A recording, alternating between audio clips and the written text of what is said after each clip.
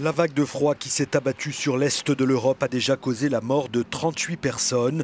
Lundi, le Centre polonais de sécurité nationale a annoncé le décès de 10 sans-abri dans la seule journée de dimanche, en cause des températures polaires inférieures à moins 20 degrés. En République tchèque, ce sont au moins 6 personnes qui sont mortes de froid depuis vendredi. Là encore, il s'agissait de sans-abri.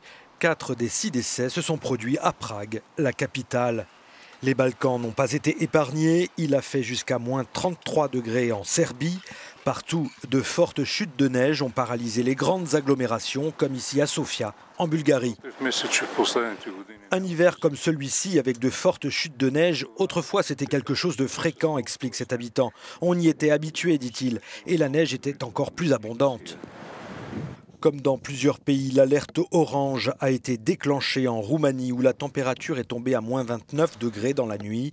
Plusieurs axes routiers ont été fermés à la circulation, de nombreux vols ont été annulés et les écoles sont restées fermées ce lundi.